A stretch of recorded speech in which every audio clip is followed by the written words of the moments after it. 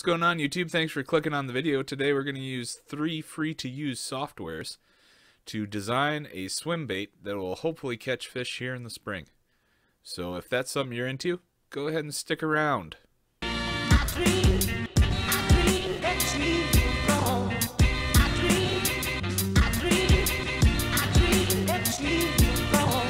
Alright, welcome back. So the first program we're going to use is Autodesk Fusion 360 we're going to create a rough blank essentially out of this. So if you're thinking about like uh, this in a woodworking context, this would be like turning down a blank on a lathe to make it smaller so you can shape it or cutting it rough cut on like a miter saw, something like that, just to, to get the excess out.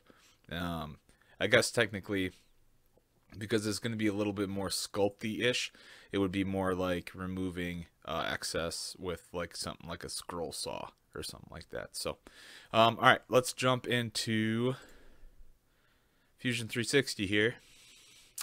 Um, I'm not going to go much over this environment. You can find a lot, a lot of good information on this. I will put some links in the description if you would like to uh, try and find some tutorial help on this. Uh, basically, all it is is just a, a, sketch environment. So you have your your traditional three planes, your X, your Y, and your Z. Um, you have to pick that when you start. So I'm going to create a sketch looking from the top down. Um, these are delineated in millimeters here, so uh, it goes from 0 to 100. What I'm going to do is now that I'm in a sketch, I'm going to come over here and I'm going to do a spline. And I'm going to take it from this origin point, this center, of the X and the Y, and I'm just going to kind of roughly shape half of what I think a swim bait um, should look like. I'm not really going to worry about size at this point. I'm just going to kind of get a rough, like, oh, I think this is what a swim bait, half a swim bait would look like. And then when I when I get it to about there, I can I can come in here, and then I grab in my select tool. And I can move these spline points around.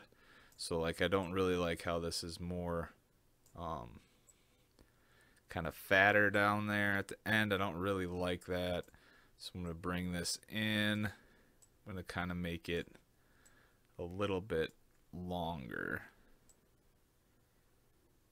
And I don't really like grabbing anything that's on these origin points, uh, like on the axis itself, and I'll show you why in a second.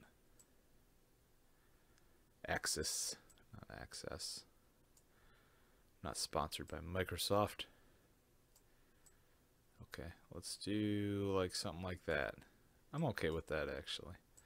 We'll bring this down in a little bit more. Something like that, make that a little bit sharper. Something like that. That should work okay. I'm alright with it. This is just going to be a rough blank, remember. We're just blanking it out. So then I'm going to come up, do a line, and I'm going to put it on this, um, on the Y? Yeah, on the Y axis. Say, okay, I'm going to lock that line in there, and then I'm going to go to sketch. I'm going to mirror it. So I want to mirror this line so it, it selects and highlights that whole line. Then I'm going to mirror it on the line I just, I just made there. So now we have a full, if I don't undo it, if you right click, it'll also undo.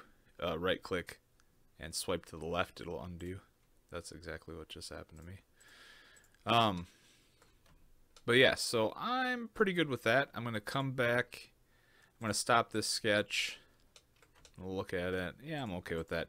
If I want to go back into a sketch, I right click on it. I go edit sketch. I'm going to come up here and I'm going to delete that reference line because I don't want that in there messing anything up in the future. I'm going to stop that sketch. Then I'm going to go to the, the left or right or wherever of this um, sketch.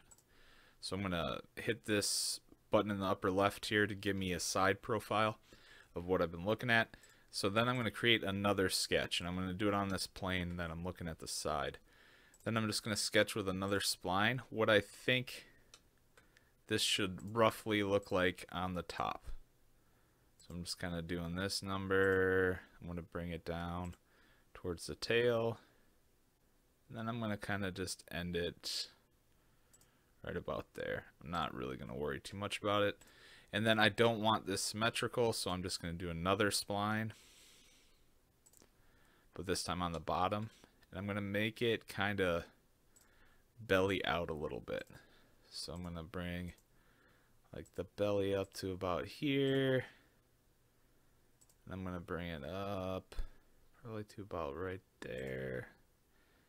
And then I'll meet this other point over there.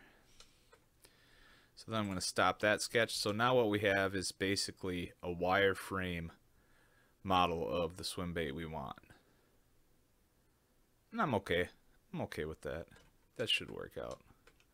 So then what I'm going to do is I am going to go back into the sketch on this side. And there might be a little an easier way to do this, but this is just what I do. I'm editing that sketch to the side. And I'm just going to put some lines here. Uh, I'm going to hover over this so it gives me a reference line. I'll make sure I get to the right reference line. And then that's going to create, you can see that'll create a face there. And that'll be important here in a minute. I'll show you why. But then I'm just going to do this again on the bottom.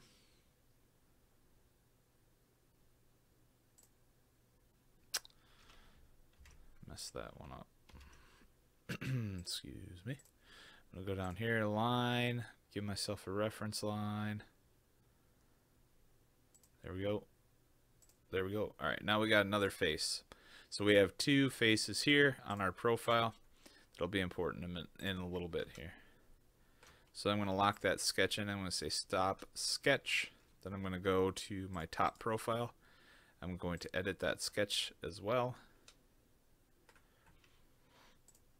And then I'm going to do the same thing on this one.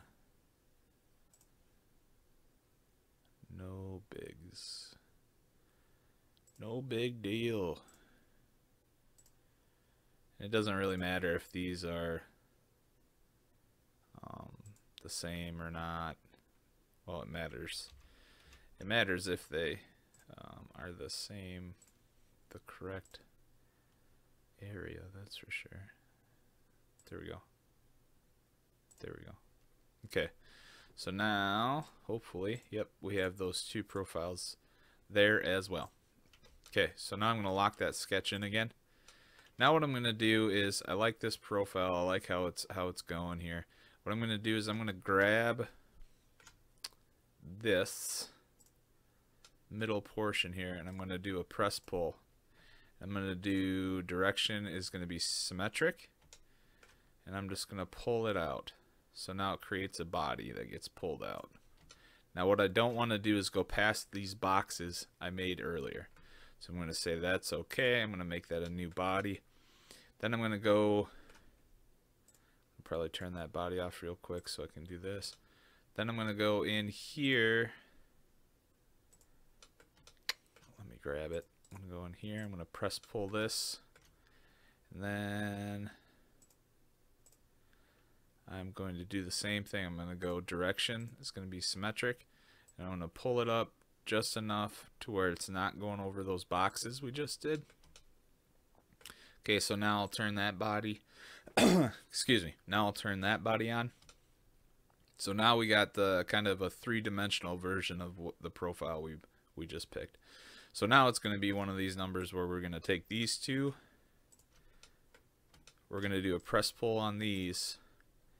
And we're going to do, instead of making a new body, we're going to do a cut.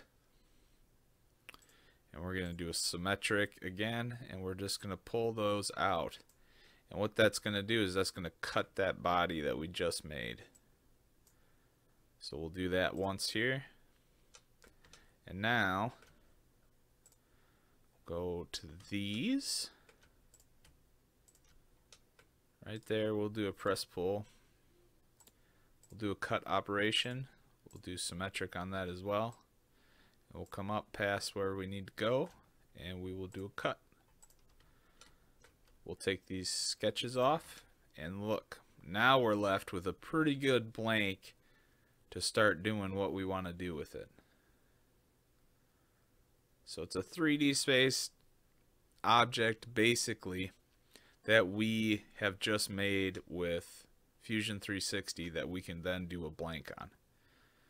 So I'm going to leave this as part one.